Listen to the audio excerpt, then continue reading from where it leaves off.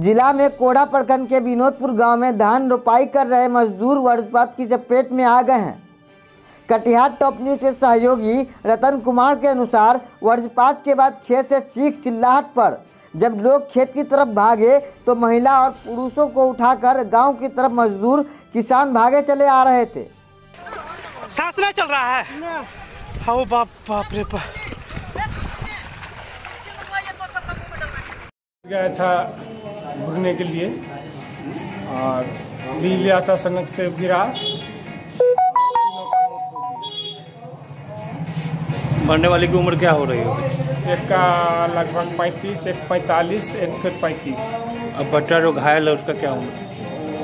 बच्चे नाम की की नाम की नाम?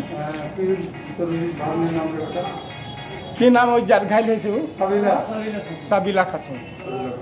कहाँ के रहने वाले हैं ये सब सब धाया घाट विनोदपुर का।